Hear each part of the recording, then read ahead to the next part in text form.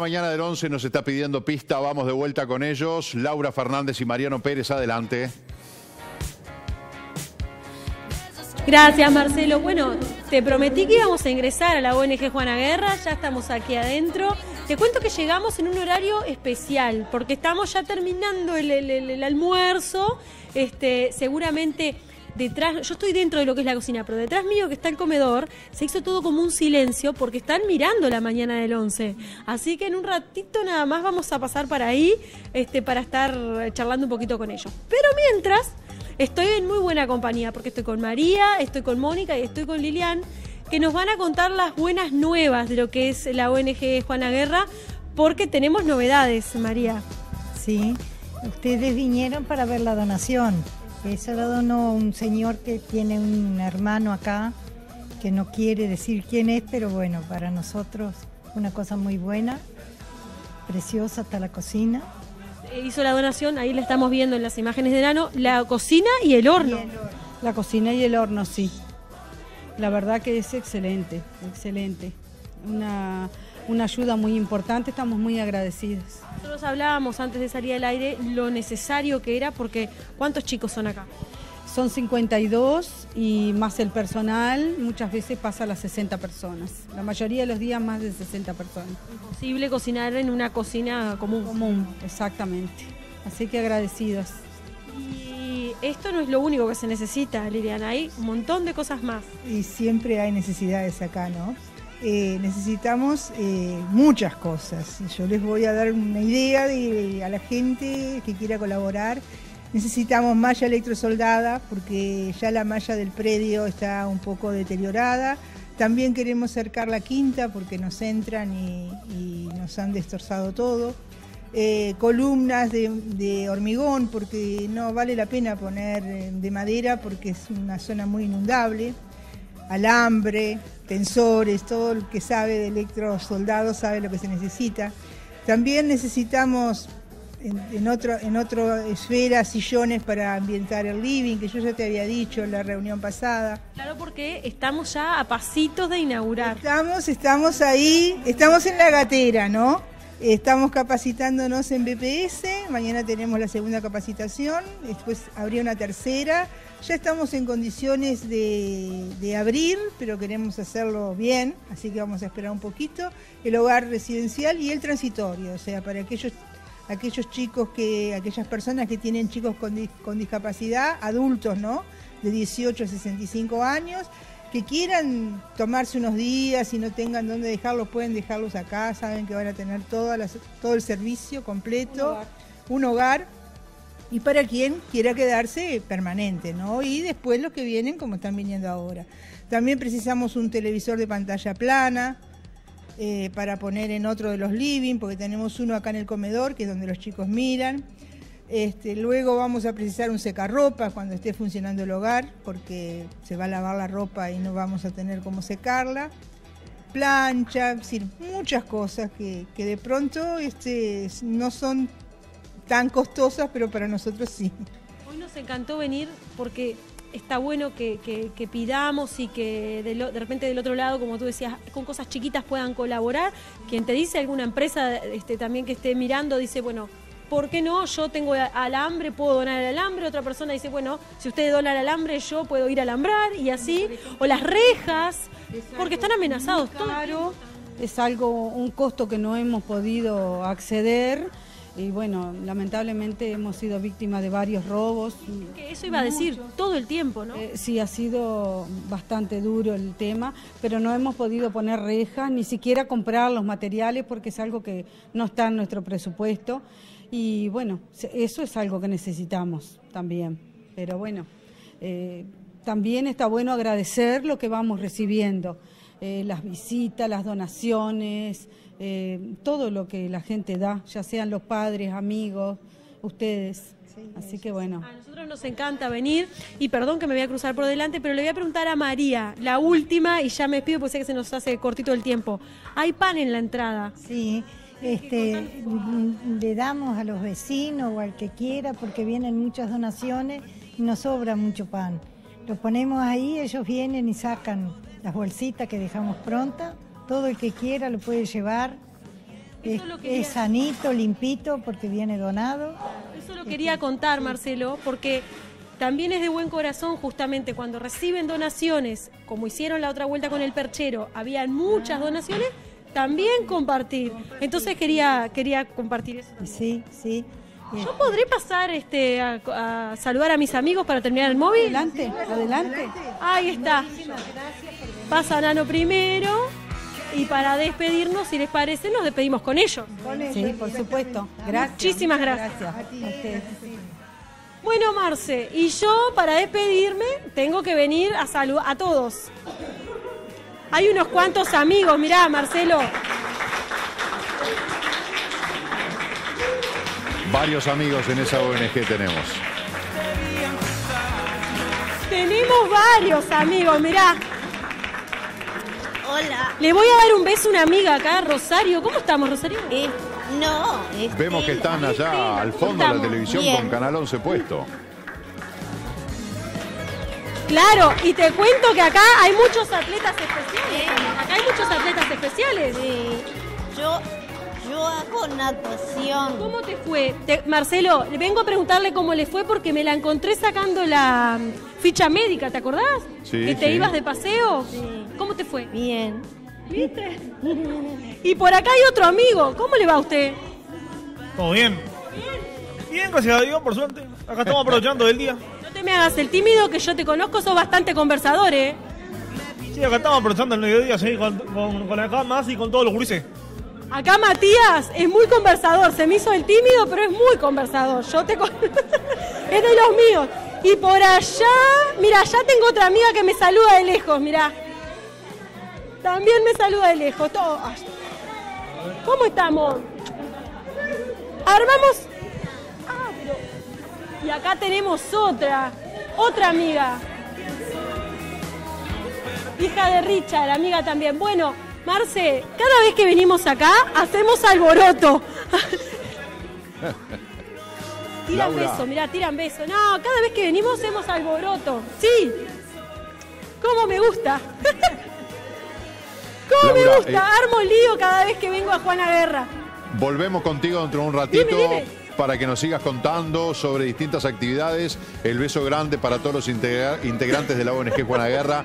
No nos puede mostrar eso hasta ahora, por favor, no nos torturen. Tenemos el apetito Para sumamente Marcelo, me abierto. dicen por acá, para por Marcelo. favor. bueno, basta, basta, por favor, Nano, no seas malo. Enfoca para otro lado.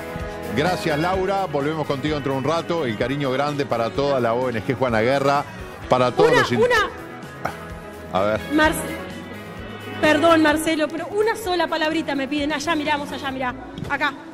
Así Marcelo te ve. Eh, mira, yo quisiera decir eh, que yo, desde que yo vi, ¿Te escucha? que, de- que desde que yo vi, Ay, no, no, no, no, no queríamos eso. No, no, no. Vamos arriba. eh, me Sí. me pusieron tan, tan contenta. Ay, amor. Toda, todo este, me, Todos los tan- amigos. con todo, con todo esto, eh, todo, con toda esta gente, todo este eh, compañerismo eh, que, te- que tengo, con, con todo este compañerismo que yo sí me siento acá y yo y, y que me empe- empe- eh, con y con todo esto y toda esta cam- campaña y la, y la gente de, de acá, de esta ONG, no saben cómo me, me siento de lo tan contenta que, que estoy acá. Muchas gracias por compartir con nosotros. y más, y más con ustedes que, que han venido a, a- a darnos una mano también. Y nosotros te queremos mucho, como todos los compañeros que están por acá, que la quieren un montón. Yo tengo que volver al estudio porque si no me van a matar, pero todos te quieren un montón. Le mandamos un beso y un saludo grande a Marcelo, ¿les parece? Así nos despedimos, ahora sí. Muchas gracias, Laura. Bueno, el cariño de la gente que realmente valoramos tanto. Eh, porque siempre tienen palabras de agradecimiento, de reconocimiento, de, de halago para nosotros.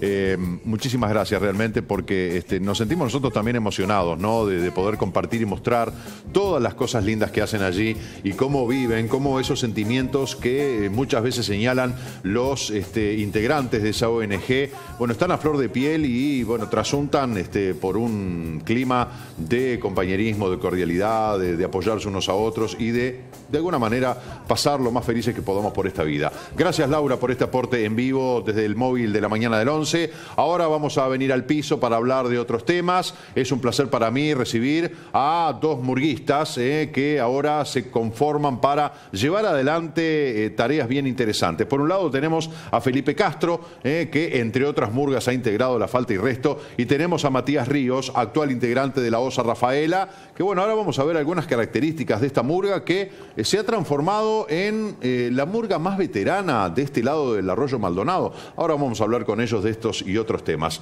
Bienvenidos a nuestro programa. Gracias, Marcelo. Gracias por acompañarnos. Bueno, cuéntenos un poco de este, la raíz. ¿Qué hacen ustedes dos juntos? A ver, ¿cómo Sí, se da bueno. esta simbiosis este, para que bueno, la gente los pueda disfrutar? Bueno, venimos, venimos trabajando, con, como decías vos, con el proyecto de la Murga en realidad. Eh, con Felipe nos conocimos hace muy poquito, este año, eh, y bueno, y enseguida pegamos una, una tremenda amistad y, y química de laburo eh, en el proceso artístico.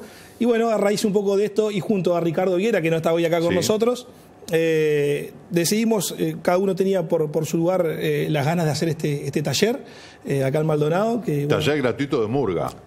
gratis y de murga. ¿ah? Y, y yo creo que con un muy buen nivel, porque en realidad hemos hecho alguna cosita siempre, vos sabés, eh, con los chiquilines sobre todo, chicos, pero un poco más amateur y ahora tenemos un respaldo eh, con, con la llegada de Felipe a, a Maldonado y de Ricardo, eh, una, una espalda viste, más, más importante. Así que bueno, es una oportunidad que está muy buena para, para, para los fernandinos. este taller, que bueno, lo que vamos a hacer es, vos sabés que la murga no, no se enseña a ningún lado, como lo decimos siempre, pero bueno, nosotros venimos con la, con la en el caso mío, eh, es un gusto trabajar con ellos, por supuesto, eh, pero bueno, con las herramientas que hemos ido aprendiendo y agarrado en el camino eh, de hacer este género, en mi caso 10 años en carnaval, en el de ellos mucho más, y bueno, vamos a transmitir esas herramientas para aquellos que quieran hacer murga. Matías dice, bueno, Felipe que ha llegado, no es que Felipe llegó a Canal 11 para hacer esta nota o que llegó para estos talleres, Felipe llegó para quedarse, porque se ha radicado en Maldonado desde comienzos de este año. Este, bueno, con una expectativa, con toda la familia y abrir nuevos horizontes. La verdad que sí, este, como te decía antes, este, muy contento de haber venido. Eh, es una ciudad muy hermosa, primero que nada, o son ciudades muy hermosas. Uno no deja de maravillarse, este, trata de salir a caminar un poco de tarde y ¿no? hacer un poco de deporte, etcétera, y siempre hay un lugar nuevo para, para descubrir y para decir qué bonito, ¿no?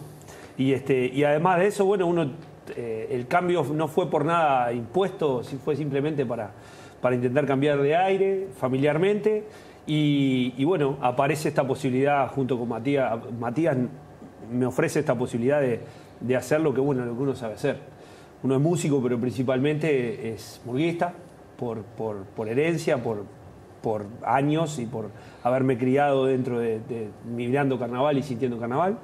Y bueno, el poder compartir lo que uno, como decía Matías, lo que uno sabe o lo que uno aprendió y, y en, esa, en esa tónica ahora actualmente la murga ha tomado una trascendencia especial eh, que no quiere decir que sea más masiva que antes, sino que ha ocupado diferentes lugares de los que tenía antes en otras décadas en la sociedad. Por lo tanto, hace que, que hay que ser muy responsable a la hora de, transmitir algunos conocimientos y por eso el, taller y no una clase. ¿no? La murga es un arte callejero, popular, está basado en poesía popular, en una, en una historia que se narra desde el poeta popular, que es muchas veces antagónica a la historia oficial, a la historia ganadora políticamente, etcétera, o económicamente. Entonces eso hay que asumirlo como tal y un taller de murga trata de, intenta o es un ideal pensarlo en transmitir ex- experiencias que generen experiencias propias, que generen iniciativas más que lo que se tiene que hacer y lo que no.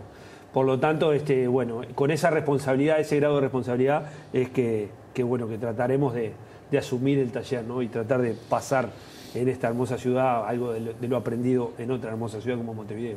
Eh, la murga, como eh, lo señalabas tú, que es un movimiento popular, con lenguaje popular, que muchas veces se le para de frente al poder, al gobierno, a las realidades, se pone al lado de la gente, lleva al escenario los reclamos de muchos, eh, puede decir muchas cosas que de pronto otros no tienen la posibilidad de hacerlo. ¿Es formadora de opinión la murga? Ah, yo creo que sí, yo creo que definitivamente, como te decía, si uno repasa la historia del siglo XX y de lo que va del siglo XXI en la historia oficial, en lo que dicen los libros de historia, va a encontrar, va a encontrarse muchas veces este, y parecido a lo que dicen las letras de la murga, esa historia que cuentan las murgas, los letristas, y a veces no. Es decir, la murga también ha acompañado la época, la, época del, lenguaje florido de las murgas, tiene mucho que ver con la época de las vacas gordas. El- el- cuando la murga se, se- se tranca y se pone en una postura más política, más confrontativa, más de resistencia, es porque en la sociedad ocurrieron determinadas cosas. Y, y actualmente, como te decía, este, estamos en un momento, es decir, eh, la murga es oposición, desde mi punto de vista, en lo que yo aprendí en Faltirresto especialmente, que la murga es oposición por esencia, por definición. Y en estos tiempos donde en otros momentos, hay que decir las cosas claras, representaban un ideal o una ideología, la, gran mayoría de las murgas, después de, de que la izquierda, el Frente Amplio pasa a ser gobierno, ya la relación entre la murga y el poder tiene algunos vericuetos diferentes. Entonces me parece que eso también es un lindo momento como para aquellos que no, que no lo habían hecho, poder empezar a, acercarse al género. Porque es un momento donde, donde otra vez empiezan a aparecer cosas nuevas para decir, y eso de parte de la poesía popular, de los cantores populares, este, me parece que es muy rico para formar opinión, para despertar eh, inquietudes en el público, en aquellos que lo miran. ¿no? Y creo que la globalización, la tecnología, eh, todo eso de la- las distancias que se han pulverizado, también lo capitaliza la murga y podemos ver, o sea, como vos decías, ¿no? Este espectáculo, o sea, si tendrán para generar este, espectáculos y ponerlos arriba del escenario, más allá de lo que es un carnaval, este, a través de una murga. Vos hablabas de la Osa Rafaela, eh, ¿se ha transformado en la murga más veterana de este lado del Arroyo Maldonado? Sí, sí, increíblemente, porque ah, sigue siendo una murga nueva, ¿no? Nosotros debutamos en el 2015 con, con la OSA. Es una, una, una, mur- una murga relativamente nueva, pero pasó que, fueron cinco años consecutivos. Van a ser este año cinco consecutivos. Entonces, eso significa que, pasa a ser hoy por hoy la única murga que, sale desde acá, de, de, de Punta Este, ensayamos acá nomás, a la vuelta, en el Teatro Cantegril, los días jueves, ya invitamos a la gente. Eh, y aparte la murga con, con- más años eh, consecutivos en carnaval de, de este lado del puente. Eh, y después, bueno, murgones amigos como los Fantasmas y Viernes, por ejemplo cumplen 51 años de carnaval. Claro, hablábamos de la diferencia, ¿no? Entre lo que es la Osa Rafaela y los, los fantasmas se divierten en cuanto a la propuesta, en cuanto a lo escénico, etcétera, que más allá de que dicen, bueno, una murga tiene cinco años y la otra 50, pero son propuestas distintas, Sí, y además claro. con distintas experiencias, distintas incorporaciones. Sí, sí, yo tuve la suerte de, de estar tres años con, con los amigos de los fantasmas y pasé de novela. Y son formas diferentes de hacer murga, como, como, como es Faltirresto, como es eh, Colombina, como cada murga tiene, tiene su, eh, su etiqueta y su forma de hacer. Si bien el, el género es uno, pero bueno, después le buscamos la vuelta para, para dejar eh, una huella y que la, la gente que va a ver un, espectáculo de murga, eh, sin verlo, escuche y sepa que- qué murga es. Eso está, eh, está mortal. Claro, claro. Eh, la gente escucha de pronto lo que son las murgas o las distintas propuestas de carnaval y tiene una visión de lo que es la propuesta, la música, la estética, las voces, los vestuarios, etcétera, todas esas cosas que tanto importan a la hora de la puntuación. Sin embargo, cuando se viene el concurso oficial de agrupaciones carnavalescas, da la sensación de que se arrancan los ojos, de que este, todos obviamente ponen todo de sí, pero que a la hora de la evaluación se generan estas cuestiones que muchas veces no le quedan claras a la gente que dice, bueno, también hay joda en el tema de las murgas en cuanto a lo que es el concurso oficial, el otorgamiento de puntos, eh, bueno, este le está pasando una factura, por eso perdió de lo que pasó el año pasado, como que hay un ambiente un poco enrarecido en ese sentido. Bueno, es todo un tema ese, ¿no? Yo, este, eh, te- la- mi experiencia anterior con el carnaval fernandino o con el carnaval carolino fue siendo jurado del carnaval de San Carlos en el año 2011. También fue muy polémico el, el- el jurado de carnaval en Maldonado. Por eso, no, no. Y apenas llegué, yo, por ejemplo, este, nunca había sido jurado y sinceramente a partir de ese, de ese carnaval decidí nunca más serlo. Nunca más ser jurado. Pero no por lo que me haya pasado, al contrario, recibí solamente que viste. cariño, no, porque me me parece, si ya lo presentía después de que, lo, de que pasé para el otro lado, me di cuenta de que, de que es tan subjetivo la visión, tan subjetivo, es tan difícil este, uno poder eh, abstraerse absolutamente de, su- de sus gustos y de su manera de entender el arte, y mucho más en la murga, que tiene toda esa carga callejera, popular, etcétera, y, tanto amor que uno le tiene que, bueno, que decidí no hacerlo más. Este, creo que- creo haber sido justo con lo que a mí me parecía, pero es con lo que a mí me parecía que no sé si es exactamente con lo que al, al resto. Por eso yo creo que también en, en- en- en general, porque además es un movimiento este, nacional, eh, hay- se está creando un, se creó de hecho este año un sindicato de carnavaleros, de artistas de carnaval, cuya una es... u- u- eh, Pero no está una de sus- no, eso es una gremial de directores de Ajá. conjuntos, que Ah, son bien. dos cosas distintas. Bien. Sucau es el sindicato. Sucau es el, el sindicato De los, de los murguistas, de los que están ahí arriba del de los escenario. carnavaleros. de los carnavaleros En general. Bien. que no son dueños de conjuntos o Bien, que son bien. también que- directores responsables más que dueños. Hay veces que son dueños, a veces que son directores responsables. Y, y uno de los análisis es eso. ¿Qué tipo de, de, de qué manera se juzga, qué perfil debería tener el- un concurso? Yo creo que, que, insisto, y mucho más en el arte popular, es muy difícil poder poner, y vos lo hiciste naturalmente en el comentario que hiciste, la voz a Rafaela no tiene nada que ver con los fantasmas. Y después, por alguna cuestión extraña, los concursos de carnaval intentan a prepo unirlos para ponerlos uno, jerarquizarlos uno por encima del otro. Me parece que eso hay que tener mucho cuidado, sin renegar de los concursos que a veces favorecen el desarrollo, me parece que hay que pensarlos bien y darle eh, la carga subjetiva que tiene, a saber que son puntos de vista en cuanto a mirar el arte. Si uno lo ve de esa manera, lo enriquece. Si lo ve de otra, puede dañar y, y- perjudicar este, la relación entre colegas artistas, que me parece que es fundamental para ellos mismos. ¿no? Perdón, del- y este sí. taller va por el lado contrario a, a esto que estamos hablando, claro. ¿no? Va por el otro lado. Claro. Eh, vamos a mostrar eh, eh, la murga por dentro y bueno, el, el- el goce que es hacer este género, ¿no? Y dejar eso de- por otro lado que no tiene nada que ver. Poníamos el ejemplo de, bueno, una cosa es ver a la Osa Rafael y otra cosa es ver a la Reina de la Teja, Araca la Cana, los fantasmas se divierten, los saltimbanquis, asaltantes con patente, eh, eh, tantas otras. Bueno, es como que vayamos a ver a Larruano Carrero, los olimareños, Pablo Estramín, Alfredo Citarrosa, en fin, Claro. exponentes del canto popular uruguayo que, bueno, no tienen nada que ver uno con otro. Uno es una cosa y otro es otra cosa. Y te voy a decir que la dinámica del Carnaval de San Carlos por la elección de quienes son los jurados y el cambio permanente que tienen, eh, incluso es eh, bastante menos eh, peligrosa que la, que la del Carnaval de Montevideo.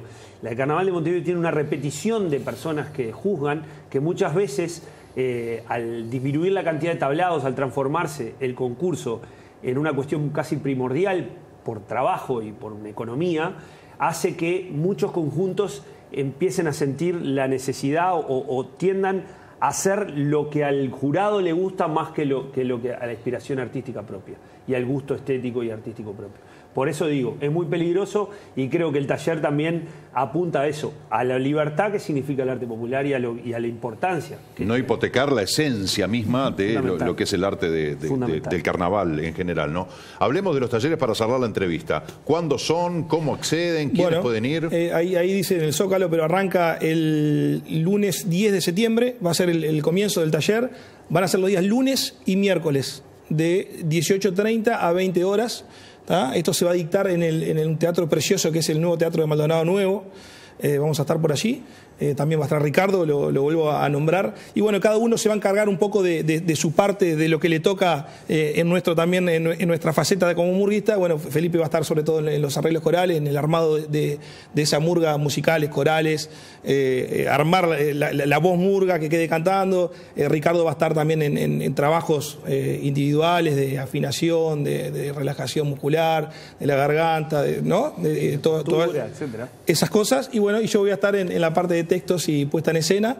También está bueno decir que, que vamos a tener dos talleristas invitados en el final del taller, que va a ser, van a ser Diana Aristarán eh, en maquillaje y vestuario. Diana es maquilladora y, y vestuarista de Los Fantasmas se divierten y de La Clave.